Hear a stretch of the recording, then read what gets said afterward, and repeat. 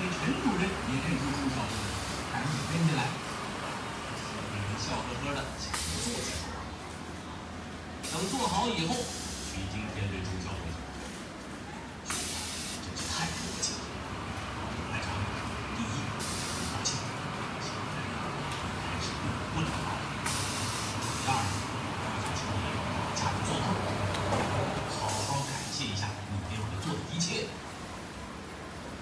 小东笑了，跟你走一样。我一开始啊，就说了，是刚好顺着，一来呢。